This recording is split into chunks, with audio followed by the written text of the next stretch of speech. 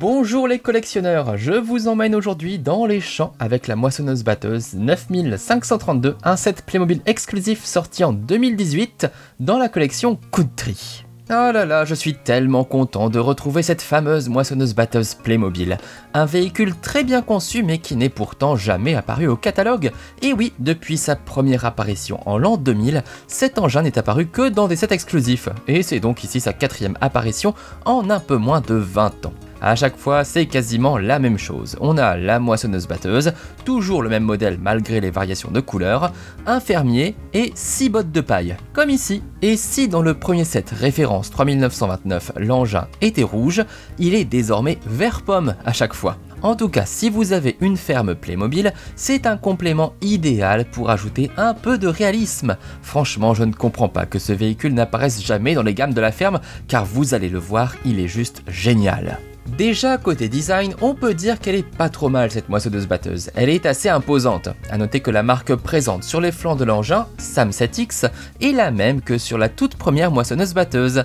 Les deux précédentes étaient de marque classe. Évidemment, on a pensé à tout chez Playmobil. La cabine peut basculer sur l'avant afin de pouvoir installer notre fermier sur le siège conducteur. Et maintenant, pour pouvoir couper nos céréales, on va baisser la barre de coupe. Comme ça, elle est au bon niveau. Et vous savez quoi? Le rabatteur peut tourner sur lui-même. C'est lui qui rabat la culture vers la vis sans fin derrière pour être acheminé dans le convoyeur. C'est quand même plutôt bien fait.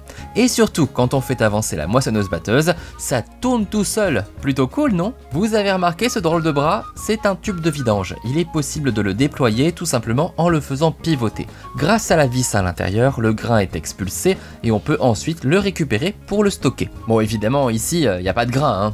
En revanche, on a donc nos 6 bottes de paille, modèle classique qui va nous servir à quelque chose. En effet, sur le toit de la moissonneuse batteuse, il y a un compartiment un peu spécial dans lequel on peut ranger toutes nos bottes de paille. Allez, je les charge toutes une à une et on va découvrir juste après à quoi ça peut bien servir. Une petite dernière et on va pouvoir ranger ce mystérieux compartiment. Et maintenant, je n'ai plus qu'à faire rouler la moissonneuse batteuse. Suspense, Elle nous a une petite botte. Ah bah désolé, mais là j'ai vraiment pas d'autre terme. hein. En tout cas, j'adore l'idée que je trouve très amusante. En gros, c'est simple, tant que le compartiment est rempli, la moissonneuse peut déverser ses bottes. C'est super bien fichu et ça suffit à faire de cet engin un de mes coups de cœur de la gamme de la ferme. Voilà, j'espère donc que cette découverte vous a plu. Dites-moi si vous connaissez ce véhicule dans les commentaires et ce que vous en pensez, bien évidemment. Moi, vous l'avez compris, je suis conquis et j'attends de la revoir dans une gamme à l'avenir. Je vous invite à aller voir mes vidéos d'unboxing des différentes gammes de la ferme et de tous les autres thèmes country comme le club équestre ou la forêt par exemple. Toutes les infos sont dans la description juste en dessous de la vidéo. Je vous invite à liker, commenter, partager et vous abonner ici et sur TikTok. A très bientôt avec de nouveaux Playmo. Ciao